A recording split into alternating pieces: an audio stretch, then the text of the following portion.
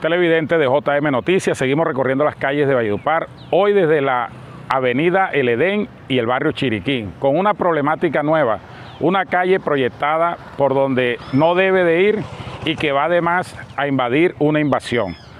Hacemos el llamado a la administración municipal que sea ella la que planee las obras en Valledupar y que no sea la gobernación la que tenga que estar proyectando obras sin el consentimiento de la administración.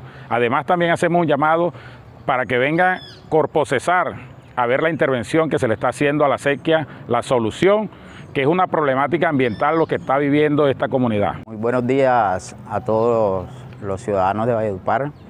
Eh, mi nombre es Luis Alfonso Castrillón, presidente de Junta de Acción Comunal eh, Barrio El Edén.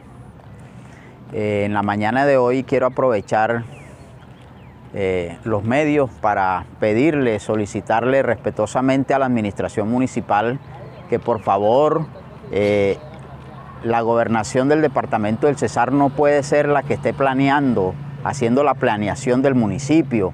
O sea, vemos la ausencia acá en la Comuna 3 de la administración municipal. El año pasado con el Medio Castro fue lo mismo y este año tenemos al amigo Ernesto Orozco como nuestro alcalde en ausencia aquí en el sector.